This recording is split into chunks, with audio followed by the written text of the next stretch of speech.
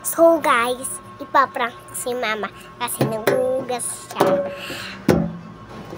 Nagimilamos siya. Tapos, yung panyo lalagyan natin ng uling. Tapos, ah, ano, ilalagay natin sa bitan dito, dito, yan, yan, yan. Diyan, dito. Diyan. Tapos, siya, nakapikit siya. Tapos, kukunin niya dito yung panyo. Tapos, gagana siya. Tapos, ano siya. Kasi, dap, ipaprank, di ba natin? Ganun yung prank natin, guys, ha? Dito. Oh, eto guys yun. Andito na ako. Wala pa siya. Ay, dyan, dyan, dyan. Ganda. Dito na nilagay ni mami yung babo. So, dito.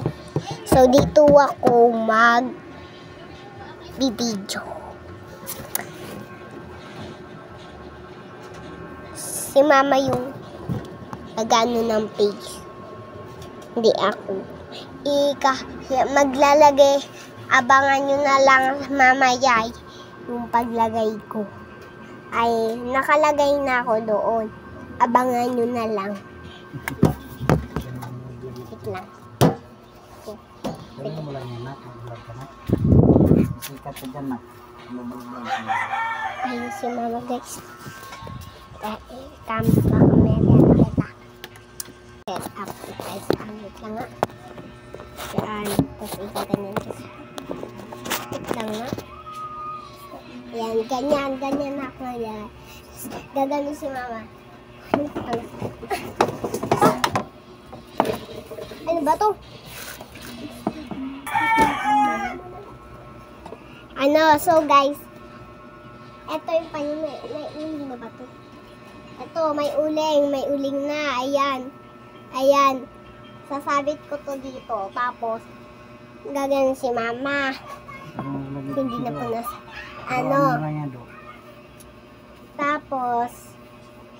lang yan, do? tapos, di ba nagiglamor siya? Tapos gaganunin niya. Sasabi ko mami na.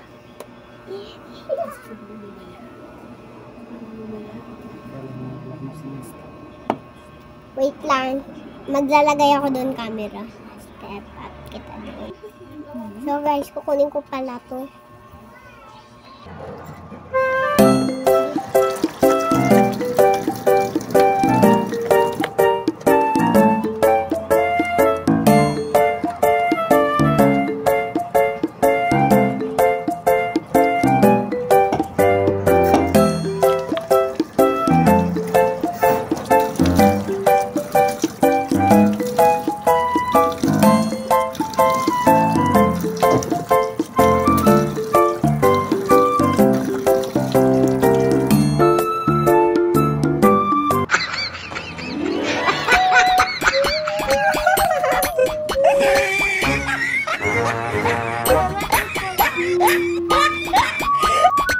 Ba? Ikaw po nasan?